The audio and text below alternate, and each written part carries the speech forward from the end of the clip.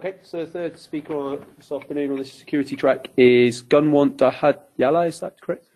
Okay, thank you. Cyber Security Centre, WMG, University of Warwick, uh, Principal Engineer. Uh, so he's going to talk about cybersecurity in V2X communications. So he graduated with a Master's with honours in Engineering from Imperial College London, uh, having a background in automotive industry, Interests include robust design and validation of electrical, electronic and software systems for smart, connected and autonomous vehicles, advanced test techniques, related test scenario and test suite generation methods. So I will pass over to you to start. Thank you very much. Thanks for the introduction. Um, so yeah, as I said, my name is Gunwant, Gunny for short. Um, I am actually standing in for colleagues, so I do apologize if uh, my knowledge of the subject may be limited here. Um, however, I am part of the project that I'm going to present about, so I do know superficially enough about it, hopefully to blag my way through the afternoon.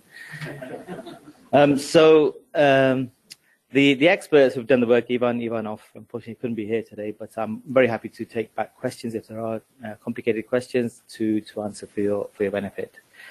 Um, so I am actually going to talk about uh, one of the collaborative pro projects we're involved with. Uh, this is an Innovate UK funded project uh, as one of the CAV calls and CAV2.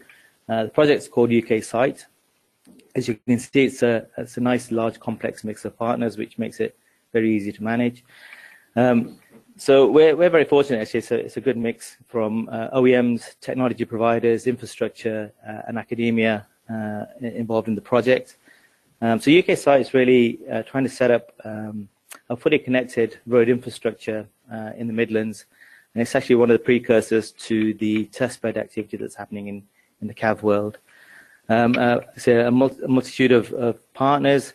Um, the idea is that the connected infrastructure is, uh, is a, complementary uh, combination of different wireless technologies, uh, which includes um, LTE, uh, DSRC or ITS-G5, the short-range comms, LTEV, which is on the table, although not much has happened on that, and also Wi-Fi through the wireless mesh networks that are available in the urban environments. Uh, and really designed as a platform for technology providers and vehicle OEMs to come and use to test vehicles for safety, uh, traffic flow, and other scenarios, uh, for example. All right, that's what I meant. So um, I'm going to be talking about one of the work packages uh, today, uh, and specifically work package 5, which is um, the work package um, relating to cybersecurity. So WMG is the lead partner, although our role um, isn't isn't uh, extended to all of the tasks uh, within the work package. Uh, as you can see, the other partners include Siemens, Mira, Siemens, Mira, Vodafone, Huawei, who are working with Vodafone, uh, Jaguar of course, and Visteon. Um, some of you with astute eyesight may already notice that task 5.4 is missing, and that I can attribute to cyber attack. That's the one's nicked T5.4, so that's why it's not there. Um, so the, the, the, the, activity here was really about looking, starting from state of the art, you know, where, where is everything happening in the space of V2X and cyber security, um, down to threat analysis and risk assessment, and this is where our partners, HORIBA MIRA, were taking the lead, to really look at how we look at the whole infrastructure, oops, the whole infrastructure um, of uh, a connected uh, environment um, needs to be secured. Uh, the architecture design led by Siemens, uh, again, it's the architecture of the whole infrastructure from uh, the, the back-end data storage and data processing elements all the way down to uh, getting data across to the vehicle. Uh, and then the implementation of the architecture also, the cyber security architecture is the responsibility of MIRA, uh, Siemens. Uh, and 5.6 is one of the larger elements that WMG is leading around actually how do you test what you've implemented as mitigation in your cyber architecture. And the combination of the, of the work is uh, a publication of best practices for implementation of cyber security in ITS. Uh, so as you can see with the dates, you know, June 18, we're right at the end of the, uh, the, the, the, testing activity. And so the presentation will actually get us to the point where we can't disclose the results because they are, we are getting results, but they just have to be, they have to be ratified by partners, of course.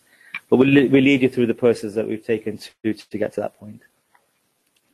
Uh, so again, so just a summary of the road networks we're covering. Uh, so again, Coventry and Birmingham are the subject cities. Uh, so it's a loop uh, going around from the M40, the A46, uh, which is from Warwick towards Coventry, and then from Coventry out towards Birmingham on the A45, and then down again the M42, the M40. we have a loop. It's about 100 miles. Uh, and on the Hi- Highways England sections, the, the bits on the left, pointer, not there. There are about 35 cabinets or stations now ready to mount wireless technology. And in the Coventry bit here, we have about 21 uh, stations um, ready to, to take on some of the technology. And when I say technology, I mean, you know, literally boxes going up, cabinets for power and, and comms going up, masts for the, the, the antenna, equipment's going on as well. Uh, so this is all happening. You know, it's, it's going to be, it, it is live to some extent. We are, we are having vehicles starting to run. JLR are, con- are contributing 100 vehicles to the to the first trials of uh, of the application on UK CITE. The idea is once it's running, that it's actually now um, and going to end up as a, an operational testbed which is available. And our aspirations are to roll this into uh, the Midlands, officially Midlands Future Mobility Testbed for CAV. Um, so in terms of the process for how we go about testing uh, cyber security within uh, the link between the infrastructure and the vehicle. Uh, this is our lead area. Um, so we took uh, a view that we needed to understand the use cases from a vehicle perspective. So the, the end point is actually the vehicle suffers if something goes wrong uh, and understanding how that happens. So understanding use cases, and the use cases are derived from six main applications taken from uh, the ETSI standard. So um, applications such as uh, automated emergency braking, uh, emergency electronic brake light systems, etc., and then devolving down into specific use cases from there. Uh, from that, mapping onto the threats, so the threat, the threat analysis, and I'll talk about that in a minute, connected by MIRA, and understanding which threats actually map onto the use cases. So we're clear to understand what we want to test. And then complementing that with understanding what, what are the facilities we have at hand to be able to carry out some of the threats and the, and the exposure of uh, weaknesses within the mitigation uh, of cyber um, implementation. So we ran two workshops with the consortia to go through in detail to get the, the essence out of actually what we're, what we're going to be doing. Um, so just a bit of detail on the, on the, on the, threat analysis. So it's nice to see that you know we are talking the same language in this in this forum. Uh, so threat analysis and risk assessment carried out by MIRA, a very extensive exercise uh, going through the whole architecture implemented within UK CITE, looking at each element, each, um, each item, and also each interaction, and trying to understand what could actually be uh, the threat surface and what the threat could manifest as. So very large Excel, Excel spreadsheets, as you'd expect.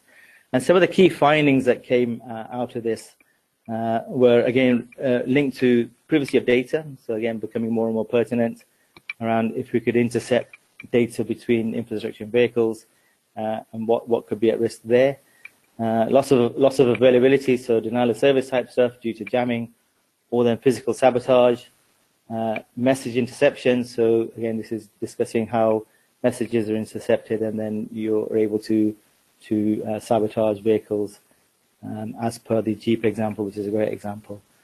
Uh, and again, physical sabotage as you mentioned, but this is specifically on the infrastructure side, and seeing how physical access to roadside units, for example, could uh, impact cybersecurity. So often people are concerned about the link itself, but the physical assets themselves uh, are points of vulnerability. And so there on the right, you'll see, uh, not to worry too much about the detail, but you see the architecture as driven by Siemens in the, organi- in the uh, consortium. So each box represents an element of the infrastructure. And each of the grey boxes there, you'll see the, the smaller grey boxes. There are actually mitigation actions or implementations of mitigation driven by the analysis within each aspect of the infrastructure. Um, so this is most of this is back end, and then you get the comms to the vehicle here, hidden behind the box. And, and so the mitigation, not not only technological mitigation, but also process mitigation, understanding what governance procedures need to be implemented, as well as the technology um, security as well. So a very comprehensive analysis which led to this it's fair to say it's a CR&D project, so not necessarily everything here has been implemented because uh, it's, a, it's a big chunk of work. A lot of it has. And our role uh, in, in this particular work package was to focus on the implementation of the security protocols from the road to the vehicle and seeing whether we could actually find vulnerabilities um, through test for that. Uh, so a process, as I said, we a use case analysis. So we had a, a, template where we try to capture as much detail as possible of the system itself, uh, and it's in it, and it's um, and it's linked to the infrastructure. So vehicle side linked to the infrastructure side, and where the points of attack should be and could be.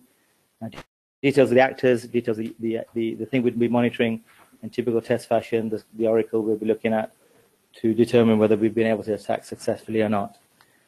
Um, the, the comprehensive Excel sheets were condensed into um, uh, types of threats, so confidentiality, confidentiality, privacy, availability, etc. And I'll show more later on, and showing how the use cases actually map to specific threats.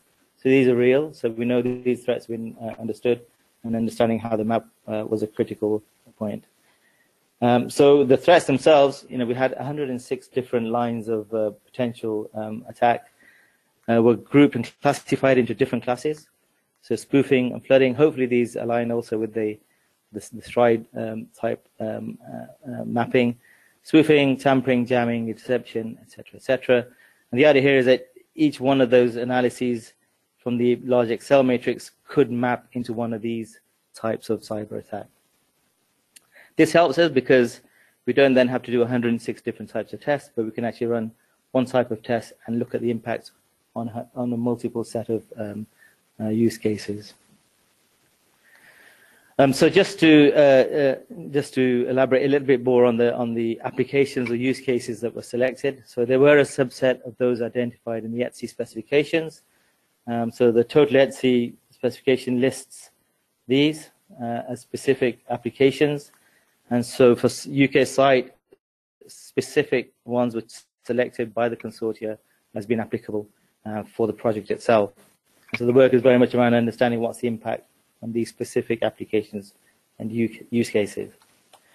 Um, so just going into the detail of the types of attacks and the classifications. So uh, once understanding this level, it was then also then trying to break it down into the next level of what where's the attack in terms of the the wireless um, the wireless space. Uh, for us in this phase, it was uh, interesting to pick up the jamming aspect. So the experiments we've been running have been specifically around jamming and focused on the GNSS or the satellite systems and the DSRC. Uh, so um, project's been using um, Cohda wireless units, uh, working with Siemens uh, as the roadside and the uh, and the onboard vehicle units. And also, because of the facilities we have at the university, we have a, a simulator where we can actually shield off the outside world and generate satellite signals. Uh, we can generate the GNSS signals at will, uh, and then for, and therefore be able to create the environments for for tests for that as well. Um, so the sorts of things we've been monitoring. Um, so here's an example of a typical performance requirement we would be interested. So here, uh, this is taken from the ETSI, um, ETSI specification. They have two vehicles, and there's a vehicle-to-vehicles communication requirement that any data sent over the air between the two vehicles uh, must adhere to a strict time requirement of 300 milliseconds or less. And for us, it was about can we design experiments? Can we look at where the weaknesses in the systems are between vehicles? For example, through manipulating the GNSS, jamming GNSS, or over-the-air communication data to violate that particular performance requirement or target. Okay. Um, so this is just um, just to demonstrate the complexity of the of the test matrix itself. Um, so what we have here on the left are the, are the, test cases and the test groupings as we've identified.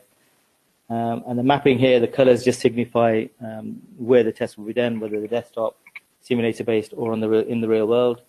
Uh, this particular bit is the responsibility we had to the MG.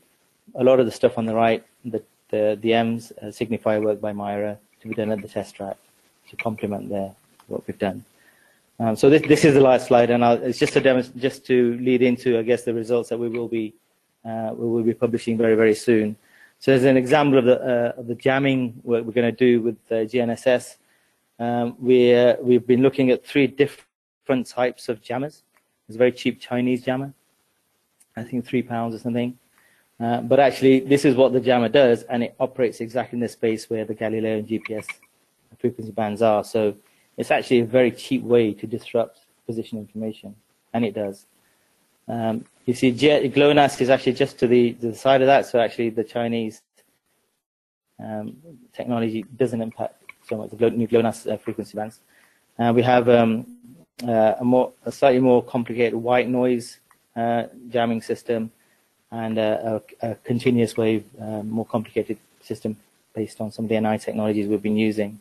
So we have conducted, conducted exercises already with a, a vehicle to infrastructure type uh, simulation and found vulnerabilities within the the uh, security implemented within uh, some of the uh, uh, the positioning systems in the vehicle, uh, which is very interesting. And so again, you know, because of demonstration of vulnerability, we have to make sure the consortia, are happy for us to publish that sort of information. Okay, so uh, that's really all I have today. So thanks, Bankside, this is where the results would be if we had them ready. So thanks very much for your time and thank you for um, tolerating me.